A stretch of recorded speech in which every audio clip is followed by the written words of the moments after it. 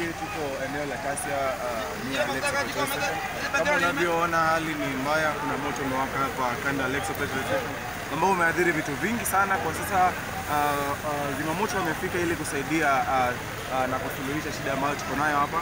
Kwa hivyo uh, unavyoona chanzo cha moto bado hakijaweza kutambulika, ila tunaweza kutambua kwanza ili tuzima kuzima moto huu uh, kabla ya kutambua ni kipi kime- kimesababisha moto huu.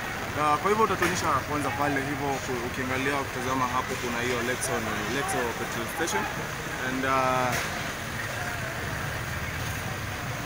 Uh, hao ni watu wa zimamoto ambao wamefika ili kusaidia uh, uh, hali ilipo hapa ilivyo hapa. Uh, kwa hivyo ukiangalia pale mbele kuna mengi ambayo ni, ni, ni mali ya pesa mengi ambayo yameweza kuadhirika, sababu ukitazama pale unaweza kuona kuna gari ambalo linaungua, pia kuna huko uh, uh, pia kuna gari lingine. Kwa hivyo hali hapa si hali tena. Uh, tunatarajia tu kwamba moto unaweza kuzimika kabla ya kufikia huku kwingine na kuadhiri labda manyumba mengine na uh, mali mengine. Uh, uh,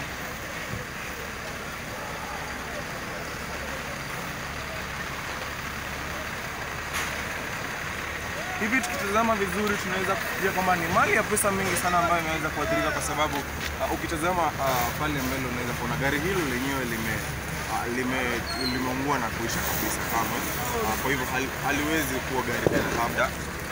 Hata kumbili kimbili hivyo unatoroka polepole, nini inakuwa? Uh, unavyosikia uh, hali sio hali sana hapa, kwa hivyo ni Mola tu, ni Mola tu anaweza kusaidia waja wake, kwa sababu moto kama huu ambao umeleta hasara nyingi sana. Na Pia ah, nikiripotia kutoka Tasia, mimi ni Ben Poet, zidi kuungana nasi kupata taarifa nyingine eh, nyingi kama hizi.